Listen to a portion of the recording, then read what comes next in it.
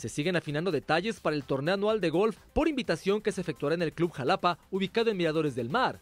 Siendo el terreno de competencia una de las prioridades del comité organizador, precisó Lauro Retureta Salas, jefe de campo del club, quien mencionó algunos de los principales mantenimientos que se realizan.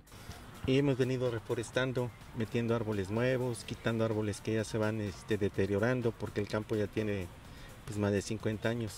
Y yo creo que vamos a ir mejorando nuestro campo cada día. Mira, más que nada son los greens, las trampas, las pistas. Pero nos hemos enfocado un poquito más a los greens, los hemos este, picado, los hemos abonado, para que se mejore la calidad, que ruede mejor la pelota, que tengamos en mejores condiciones nuestras eh, pistas y sobre todo pues trabajar eh, todos, eh, yo creo que hemos puesto nuestro granito de arena en que este club se mantenga en buenas condiciones. El también miembro del club aseguró que por cuestiones climáticas y geográficas, practicar golf en dicho campo es una experiencia inolvidable. Claro, mira, tenemos un clima muy agradable aquí en Miradores del Mar. Estamos a 950 metros sobre el nivel del mar.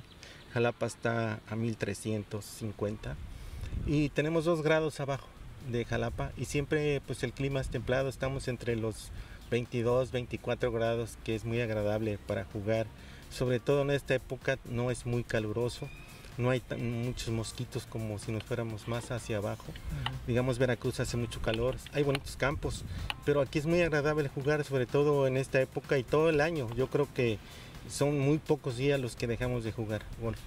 El tornado de invitación del Club de Golf Jalapa se efectuará entre el 29 y el 31 de mayo. Para más deportes, Eric Salgado Pérez.